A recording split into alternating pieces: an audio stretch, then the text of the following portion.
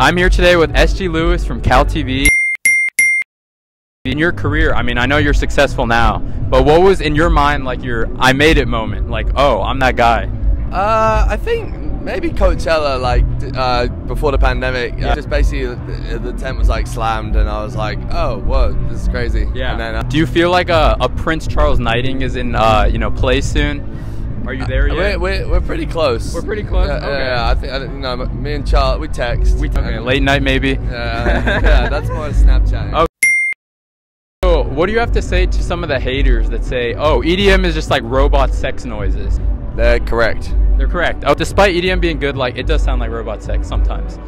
Hey, Transformers gotta get down too. you Transformers know? gotta get down. I, I represent uh, UC Berkeley TV. EDM is huge there. Like it's a it's a big culture shift. It's massive. Uh-huh. So what do you kind of see the future of EDM heading? DJing is getting less and less cool. So everyone DJs now. So eventually Yeah. everyone's going to be a DJ. Right, And right. then society will fall apart because there will be no other jobs. No, yeah. I tried DJing myself once. It didn't go well. Society will collapse when everyone, when everyone is a slowly DJ. becomes one. You're about to go on a major North American tour. Uh, by the way, the tickets are out now. If you want to buy, buy them. Please. Please buy them. He needs the money. He needs the money. Please. On tour, you have the fans, the traveling, the groupies. But what is the worst part about going on tour? That's Being away from my girlfriend. okay. Your relationship advice to me. I'm very single. I need some help. So Wear nice cologne. wear nice clothes. Okay, this fit.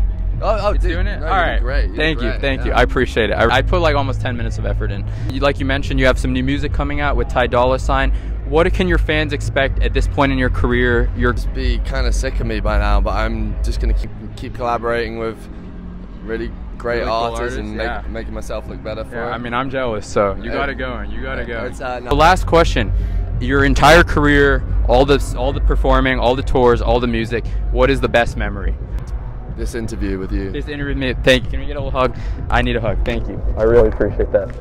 This means so. Last thing. So I go to UC Berkeley. Our motto is "Go Bears." So can we get one "Go Bears" into the camera, and then maybe a little "Fuck Stanford" too after. I, I need to sell them tickets and All right. valuable ticket. Okay, that's fair. Uh, Go Bears. You know, just go sports. Go Bears. Go sports too. Yeah. Go sports. Go Yeah. sport. Everyone, check out SG Lewis's new single coming out.